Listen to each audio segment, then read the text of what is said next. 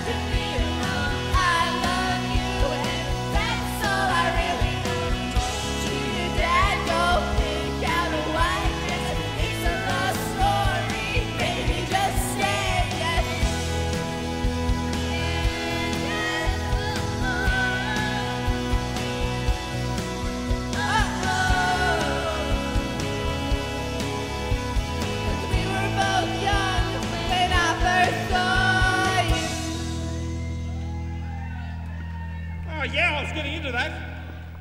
Oh, do love a love story.